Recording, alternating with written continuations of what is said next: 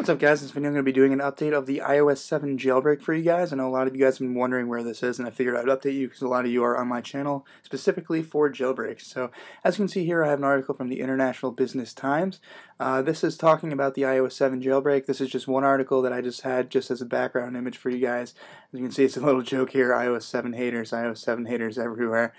Uh, but basically, this information can be found on many different websites, including BGR. Um, but the International Business Times I've used in a previous couple pre previous videos that I've uploaded here on YouTube, and uh, it seems to be pretty reliable. So basically, in terms of the iOS 7 jailbreak and what you can expect, um, they they did actually tweet from the iPhone dev team or the evasion team that they do have all the necessary tools to jailbreak the iOS 7 firmware.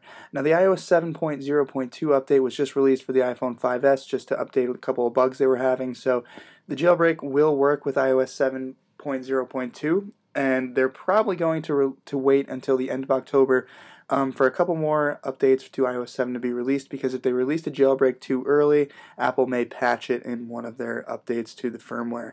Now, also at the end of October, the iPad 5 and the iPad Mini 2 are supposed to be released, so they may be waiting for those devices to come out as well to make an all-in-one jailbreak for those devices as well as the iPhone and the iPod Touch, um, which was released as well, uh, all running the latest version of iOS 7. So they're probably going to want to make a universal jailbreak. So the release of the new iPads do point to the end of October for the jailbreak to be released.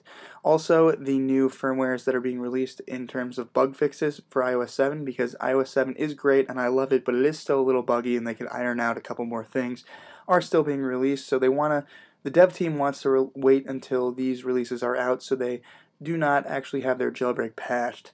So overall, you can expect the jailbreak to come at the end of October, um, somewhere around there, and I will be doing an update. Obviously, I'll upload a video on how to jailbreak um, and when the jailbreak is released, so stay tuned for that. And overall, hopefully you enjoyed this video. If you did, be sure to rate, thumbs up, favorite, and subscribe, as well as follow me on Twitter, my website, my Google Plus page, my Facebook page, and my vlog channel. Greatly helps me out, guys, and I will update you on future Apple information, specifically on the iOS 7 jailbreak, so stay tuned for that. And also, if you're interested in getting paid iOS or Android apps for free, check out the link in the description. And yeah, stay tuned for more info, guys, on the jailbreak and check out the other videos on my channel. So thanks for watching, and I'll catch you later. Peace.